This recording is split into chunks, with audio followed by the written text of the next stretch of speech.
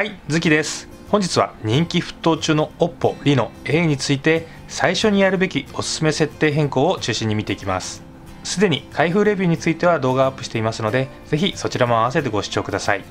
売り切れている MNO や量販店も多いようですが本日現在 Amazon ではベストセラー1位になっていてブラックが在庫ありブルーが12ヶ月待ちとなっています。なんといってもコスパが良いというのが人気の理由だと思いますが OS がカラー OS という OPPO 独自の OS を採用している点で二の足を踏まれている方も多いと思います。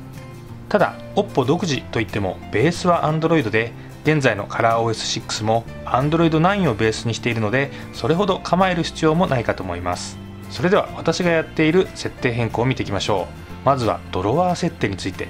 カラー OS はよく iOS つまり iPhone に寄せて作られていると言われていますがメイン画面が象徴的で iPhone のようにアプリが全てメイン画面に表示されています。初期設定ではその他の Android 端末のメイン画面で操作できるようなドロワー表示。下から上にスワイプすると出てくるドロワーですね。この表示ができなくなっています。ただ設定変更でドロワーモードにすることができます。やってみましょう。設定から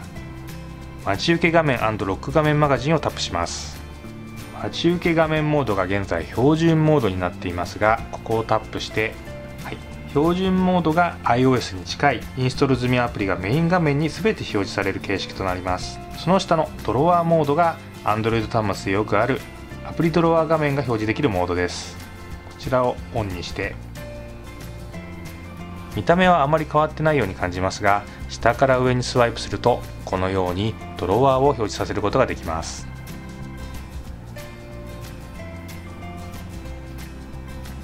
これによりホームメイン画面にはよく使うアプリのみ表示させることも可能になりますのでドラワー表示に慣れている方はぜひこの設定を試してみてください。続いてジェスチャー操作について私は Android 8や9の基本操作設定があまり好きではなく iOS や EMUI のジェスチャー操作に慣れているので Lino でもジェスチャー操作に変更しています。設定から便利機能をタップします。ナビゲーションキーから初期設定ではバーチャルキーのラジオがオンになっています。ここで希望のレイアウトに変更したり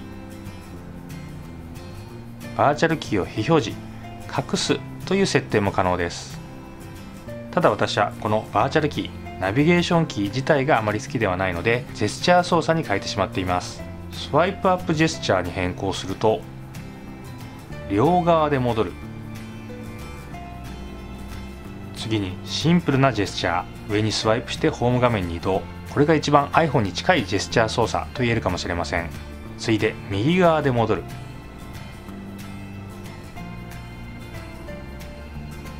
逆に左側で戻る。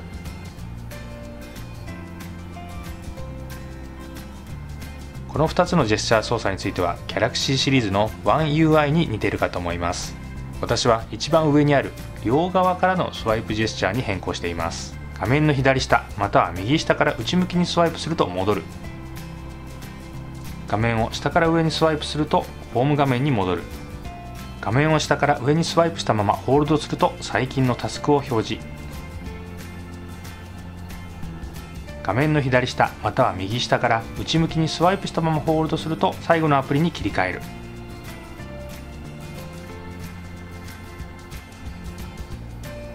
通常のスワイプだと戻るですがホールドすると、はい、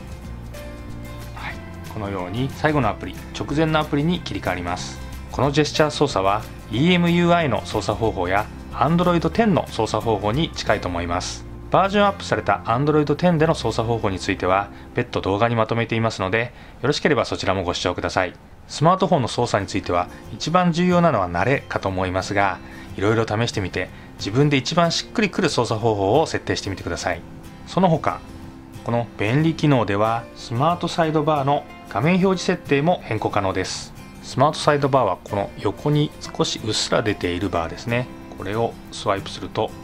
このようにクイックアプリとして起動することができます。追加ボタンでアプリを追加したり編集することも可能です。続いて生体認証の顔認証について通常のロック解除方法ではこのように上にスワイプして開く必要があります。この上にスワイプするという動作が手間だと思う方は設定から指紋顔およびパスコードをタップして顔をタップします。パスコードの入力を求められますのでここでパスコードを入力します。おそらく初期設定では画面がオンの時に上にスワイプする設定になっていると思います。これを顔で直接に変更すると